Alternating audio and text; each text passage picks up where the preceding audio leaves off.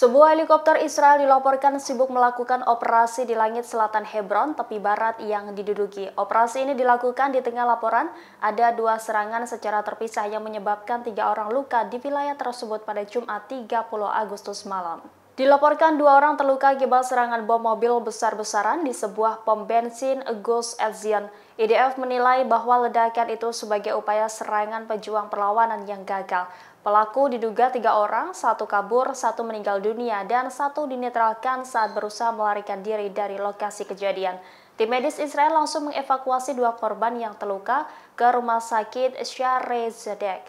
Tak berselang lama dari insiden itu, serangan juga terjadi di pemukiman Karmei Sur saat seorang menerobos pemukiman tersebut dan menabrak penjaga menggunakan kendaraan. Pelaku kemudian dibunuh oleh pasukan Israel. Sementara kendaraan yang menerobos pemukim meledak. Pasukan Israel mengatakan bahwa kendaraan itu mirip dengan mobil yang meledak di pom bensin sebelumnya. Atas kejadian dua peristiwa terpisah itu, IDF melakukan penyelidikan. Pasukan keamanan langsung melakukan pencarian di Gus Ezion untuk menyingkirkan adanya kaki tangan tambahan dalam serangan tersebut. Di saat yang bersamaan, helikopter Israel juga melakukan penyisiran di langit Hebron Selatan. Di sisi lain, gerakan Mujahidin Palestina menanggapi kedua insiden tersebut sebagai pukulan keamanan baru bagi musuh. Pejuang Palestina itu mengancam akan melakukan serangan lebih banyak lagi terhadap pendudukannya.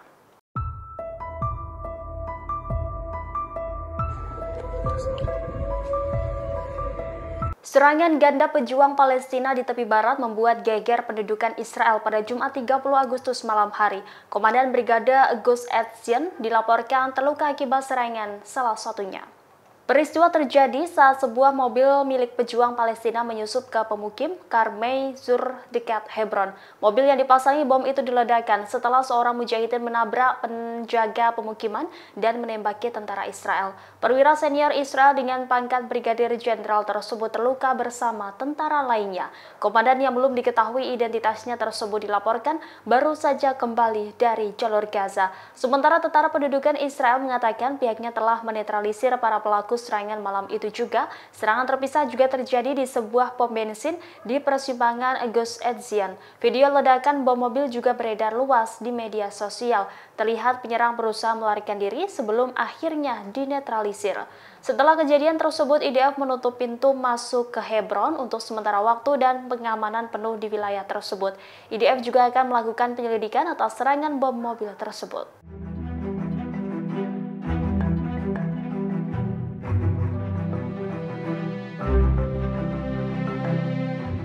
Pasukan pertahanan Israel disebut nyaris tenggelam dalam lumpur Gaza. Agustus 2024 disebut-sebut menjadi bulan paling berdarah bagi Zionis Israel. Demikian disampaikan analisis Israel Avi Ashkenazi dalam pernyataannya, sebagaimana dilaporkan Palestine Chronicle pada Sabtu 31 Agustus 2024.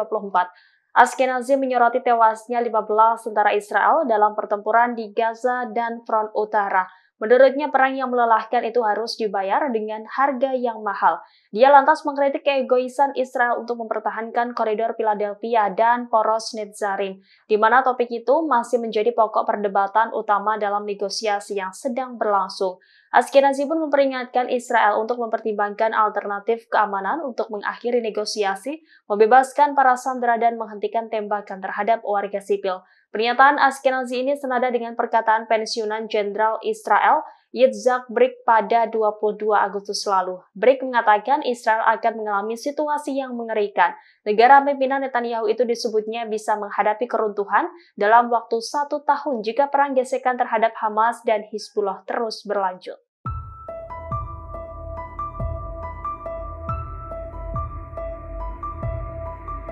Angkatan Laut Amerika Serikat mendadak menindak tegas komandan kapal perusak yang ditempatkan di Timur Tengah.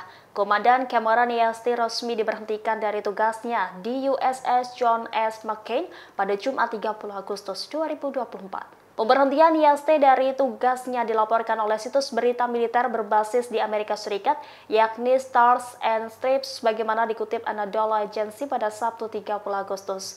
Diketahui USS John S. McCain, kapal perusak berpeluru kendali yang ditempatkan di Teluk Oman. Kapal perusak tersebut dari kelompok penyerang kapal induk USS Theodore Roosevelt.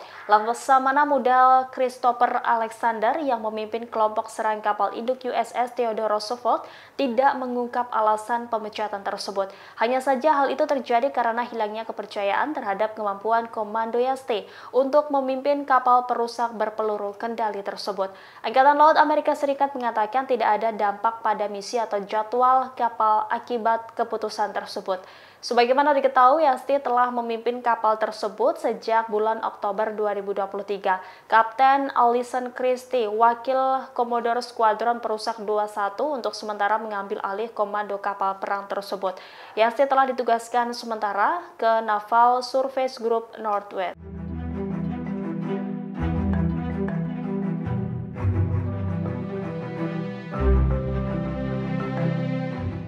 Iran terus meningkatkan persediaan uranium yang diperkaya. Negara di Timur Tengah itu kini disebut mendekati tingkat yang dibutuhkan untuk membuat senjata nuklir. Di sisi lain, Iran tidak meningkatkan kerjasama dengan Badan Tenaga Atom Internasional atau IAEA. Laporan rahasia IAEA menunjukkan bahwa ketegangan terus berlanjut meski Badan Tenaga Atom tersebut menyerukan untuk kerjasama. Hal ini terkendala karena pemilihan Presiden Iran, Masoud Pezeshkian baru-baru ini dan Pilpres Amerika Serikat yang dijadwalkan bulan November mendatang. Pada saat yang sama, Iran terus meningkatkan kapasitas pengayaan uraniumnya. Negara itu telah menambahkan 8 kaskade baru sentrifus IR-6 canggih ke situs pengayaan Fordo-nya yang terletak di gunung. Ini menjadikan jumlah total kaskade IR-6 di Fordo menjadi 10. Namun sentrifus baru ini belum dikomisioning untuk pengayaan uranium hexafluorida atau UF6. Stok uranium Iran dalam bentuk UF6 yang diperkaya hingga kemurnian 60% meningkat sebesar 22,6 kg menjadi 164,7 kg. Level ini mendekati pengayaan yang dibutuhkan untuk memproduksi senjata nuklir, yaitu sekitar 90%. Menurut standar IAEA, stok ini hanya kurang 2 kg dari jumlah yang secara teoritis dibutuhkan untuk membuat 4 bom nuklir. Selain itu, Iran juga memiliki cukup uranium yang diperkaya hingga 20% untuk memproduksi jika diperkaya lebih lanjut hingga 6 bom. Download Tribun X sekarang, menghadirkan lokal menjadi Indonesia.